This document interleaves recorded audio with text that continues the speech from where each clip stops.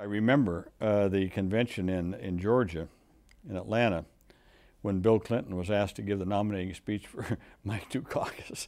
And he went on and on and got booed and hooted, and people were yelling for him to get off the stage, and he just plowed right ahead. Now, that was an interesting moment.